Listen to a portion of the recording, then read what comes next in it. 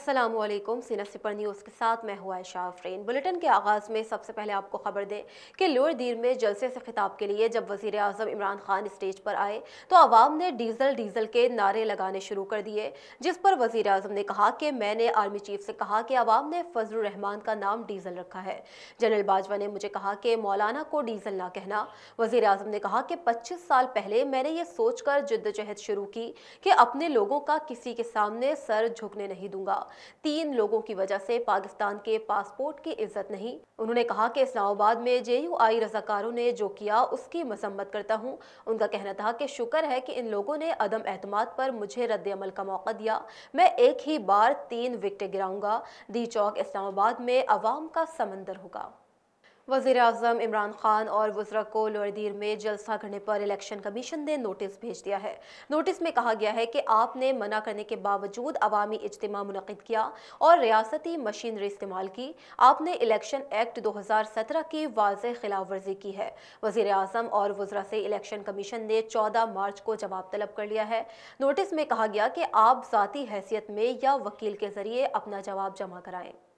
और अब आपको बताएँ कि एम क्यू एम पाकिस्तान ने वजी अजम इमरान खान के खिलाफ पेश करदा तहरीक अदम अतमाद में साथ देने के लिए मुतहदा अपोजिशन के सामने मुतालबात रख दिए हैं और इन पर अमल दरामद की तहरीरी जमानत भी तलब कर ली है। जमानत में कहा गया कि शहरी सिंध के लिए नौकरियों में चालीस फ़ीसद कोटा मुख्त किया जाए बा इख्तियार बल्दियाती निज़ाम कायम किया जाए और सूबाई मालियाती कमीशन की तश्कील की जाए। एम क्यू एम पाकिस्तान ने शर्त लगाई है कि तहरीरी माहदे पर अमल दरामद की जमानत भी मौलाना फजल रहमान चौधरी बरदरान और शहबाज शरीफ थे और अब आपको बताएँ कि आईएसपीआर के director general major general Babar Iftikhar का कहना है कि सोशल मीडिया पर गर्दिश करने वाली यह खबर बिल्कुल गलत और जाली है कि पिशावर के corps commander lieutenant general Faiz Hameed को इजहार वजूह का नोटिस जारी किया गया है। यूट्यूबर सहाफ़ी ने पहले ताज़ा तरीन व्लाग में दावा किया था कि चंद रोज़ कबल वजी अजम से मुलाकात करने पर या काफ लीग के लीडर चौधरी परवेज लाही से टेलीफोनिक रबता करने की वजह से आर्मी चीफ ने जनरल फैज़ को इजहार वजूह का नोटिस जारी किया है। पाकिस्तान और आई एम एफ़ के जायजा मुजाकर अब तक इस्लामाबाद की जानब से मुख्तलिफ़ महाजों पर मुबैना खिलाफ वर्जियों के सबब में बेनतीजा रहे हैं। जिन्हें फ़ंड के अमले ने आई एम एफ़ के मुतफ़ा प्रोग्राम से इनहराफ करार दिया है। आई एम एफ़ के अमले ने पेट्रोल, डीजल और बिजली की कीमतों में कमी के साथ साथ सनती शोबे के लिए टैक्स छूट देने पर वजी अजम के रिलीफ पैकेज पर भी शदीद एतराज़ा उठाए। आई एम एफ़ ने यह शर्त रखी है कि पाकिस्तान किसी किस्म के टैक्स छूट नहीं देगा। आई एम एफ़ ने मुतालबा किया है कि पाकिस्तान डिस्काउंट रेट में इजाफा करे और ज़र मुबादला की आज़ादाना नकलो हरकत की इजाज़त दे। कामयाब पाकिस्तान प्रोग्राम को कम करे और इसे समझदार मालियाती इंतज़ाम के साथ हम आहंग करने के लिए रिलीफ पैकेज के इकदाम को रिवर्स करे। पाकिस्तान पीपल्स पार्टी के चेयरमैन बिलावल भुट्टो सरदारी का कहना है कि इमरान खान की गाली गलोच पर मबनी जबान इस बात का सबसे बड़ा सबूत है कि वो जानते हैं कि वो हार रहे हैं। ट्विटर पर जारी बयान में बिलावल भुट्टो ने कहा कि क्या आपने कभी किसी जीतने वाले कप्तान को अपने हरीफों को गालियाँ देते नहीं सुना होगा? उन्होंने कहा कि जब इनके खिलाफ अदम अतमाद की तहरीक आ रही है तो इमरान खान की जानब से अवामी जलसे में फौज का हवाला देना अफसोसनाक और उनकी मायूसाना बेचैनी की निशानदेही करता है। अब आपको खबर दें कि भारत ने पाकिस्तानी हदूद में मिसाइल गिरने का एतराफ़ कर लिया। भारतीय वजारत दिफा राजनाथ सिंह ने कहा कि फ़नी खराबी के बायस पाकिस्तान में मिसाइल गिरने पर अफसोस है। उन्होंने कहा कि 9 मार्च को मरम्मत के दौरान हादसाती तौर पर मिसाइल चल गया, जिस पर हुकूमत ने सख्त नोटिस लिया और अली सतह की इंक्वायरी का हुक्म दिया है। उनका कहना था कि ये बात इतमान बख्श है कि मिसाइल गिरने से कोई जानी नुकसान नहीं हुआ। वजी अजम इमरान खान के मुआवन खसूस, बरए कौमी सलामती मोईद यूसुफ का भारतीय मिसाइल पाकिस्तान में गिरने के वाक़े पर रद्द अमल में कहना है कि भारत जैसे गैर जिम्मेदार मुल्क एटमी सलाहियत रखने का अहल नहीं। पाकिस्तान एक पुरअमन मुल्क है, हमें पुरअमन रहने दिया जाए। भारत को मिसाइल चलने के तीन दिन बाद वजाहत देने का ख्याल आया। ऐसे गैर जिम्मेदाराना इकदाम खत्े समेत दुनिया भर के लिए ख़तरा है। पाकिस्तान ने कई बार भारत के नाकस दिफाई निज़ाम की तरफ़ दुनिया की तवज्जो दिलाई है। और अब आपको बताएँ कि वजी खारजा शाह महमूद कुरैशी ने इंकशाफ किया है कि कतर एयरलाइन और सऊदी एयरलाइन भारतीय सुपरसोनिक मिसाइल की जद में आ सकते थे। शाह महमूद कुरैशी ने भारत पर तनकीद करते हुए कहा कि भारत इस किस्म के हथियार रखते हैं और इसे संभाल नहीं सकते। क्या भारत इस काबिल है कि इसके पास इस किस्म के हथियार हों? उन्होंने कहा कि इस मामले पर हम खामोश नहीं रह सकते। भारत बहुत खतरनाक खेल खेल रहा है। उम्मीद है कि सलामती कौंसल, मुस्तकिल मेम्बरान इस पर खामोश नहीं रहेंगे। वज़ीर अला पंजाब उस्मान बुजार से अरकान सूबाई असम्बली की मुलाकात। मुलाकात में अजहर अब्बास, चांदिया, अशरफ खान, रेन, मंसूर अहमद और दीगर अरकान भी मौजूद थे। अरकान असम्बली ने वज़ीर अला पंजाब उस्मान बुजदार की क्यादत पर मुकम्मल अहतमाद का इजहार किया।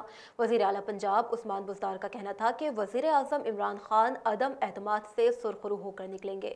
सियासी अदम इसकाम पैदा करने की कोशिश करने वालों को कौम माफ़ नहीं करेगी। अफरा तफरी की सियासत करना कौमी मफादात के मुनाफी है। तरक्की का सफ़र रोकने के लिए अपोजिशन सियासी इंतशार पैदा करने की कोशिश कर रही है। और अब आपको बताएँ कि पाकिस्तान मुस्लिम लीग नून के मरकजी सदर मियाँ शहबाज शरीफ ने वज़ीर अजम को मुखातिब करते हुए कहा कि इमरान खान जबान को लगाम दो, बोरियों में आने वाली रिश्वत का हिसाब कौम लेगी। उन्होंने कहा कि उनके खिलाफ अदम एतमाद आ चुका है, तारीख की करप्ट और नाअहल तरीन हुकूमत से जान छुड़ानी है। उनका कहना था कि गंदम चीनी और गैस की कीमतों में अरबों रुपए की करप्शन हुई है।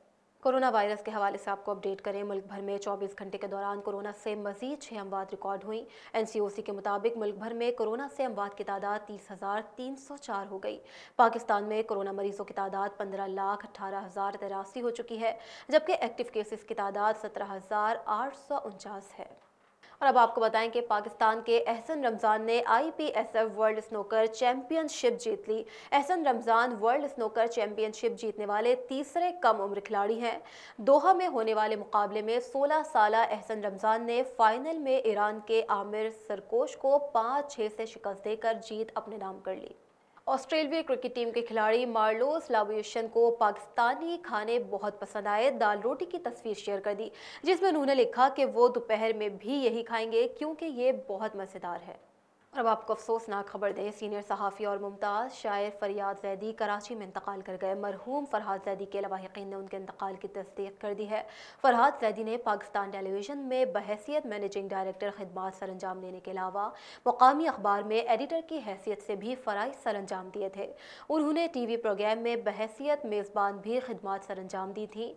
मरहूम Farhad Zaidi all Pakistan newspaper society के सदर और आर्ट्स कौंसिल के नायब सदर भी रह चुके थे। और अब आपको मौसम के हवाले से अपडेट करें। कराची में गर्मियों ने दस्तक दे दी। महकमे मौसमियात के चीफ मेट्रोलॉजिस्ट सरदार सरफराज के मुताबिक कराची में गर्मी की शिद्दत में इजाफा हुआ है, जबकि शहर में दिन के अवकात में समंदरी हवाएँ मअतल रहेंगी। सरदार सरफराज का कहना है कि आज शहर का दर्ज हरारत अड़तीस डिग्री सेंटीग्रेड तक पहुँच सकता है, जबकि शुमाल मगरब से हवाएँ चलने के बायस मौसम गर्म और खुश्क रहेगा।